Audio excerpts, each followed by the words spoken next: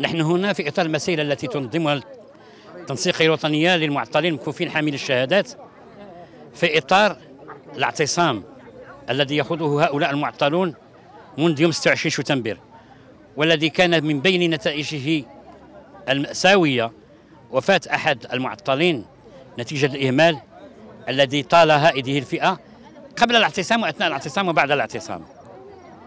بطبيعة بعد الاعتصام الاعتصام لا زال لم يفض إلى الآن.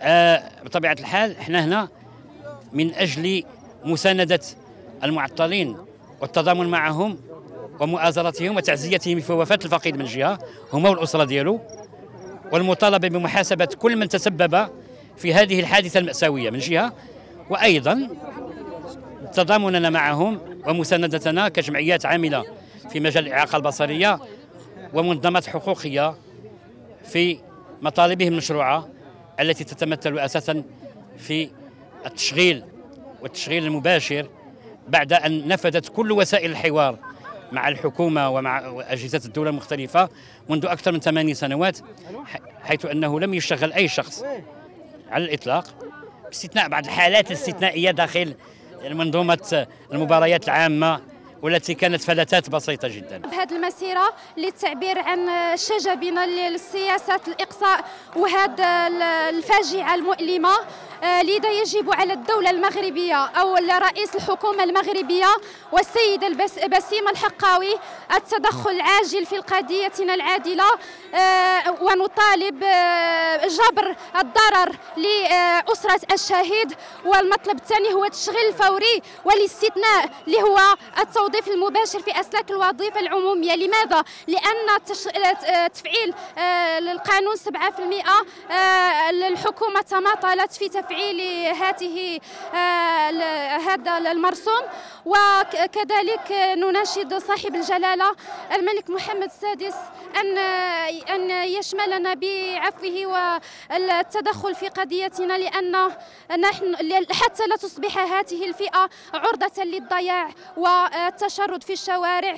والحقيقة هذه الوزارة نسميها مقبرة المكفوفين. الشهيد الأول ميلود الحمراوي والآن صابر الحلوي. أه، فالمسيرة اللي تتشوفوا هي مسيرة وطنية. أه، ما هي إلا خطوة أولى على أه، السياسة اللي تتنهجها معنا السيدة بسيمة. فبالإضافة للأكاذيب اللي افتراتهم على هذا السيد هذا فتتقول أنه السيد يعني مات منتحر هو مات يعني نتيجة الإهمال ديالها. يعني ما قالتش أن السيد مات في آه لومبيلونس هو مات داخل الوزارة. فهاد السيدة هذه اذا كانت بصح مرأة حديدية خصها تحمل المسؤولية ديالها وتخرج. يعني ولوكو كانت مثلا كما تنقولوا في دورة الحق والقانون كان خصها تخرج وتقدم الاستقالة ديالها. لأن منذ سبع سنين وهاد السيدة هذه ما دارت ولو حل مع المكفوفين ولو منصب واحد جابته الاشخاص المكفوفين. فاذا سياسة فاشلة عندها في تدبير الملف ديالها خصها تقدم الاستقالة ديالها. أه، بالإضافة للإخوان ديالنا فهم المطلب ديالهم مطلب مشروع اللي هو الاستثناء يعني خلق استثناء من طرف الحكومة وحق إيجاد حل شامل لجميع المكفوفين المعطلين اللي مصامدين في مدينة الرباط ودائما الدم ديال الأخ ديالنا تتبقى حارة علينا وزاكيه علينا.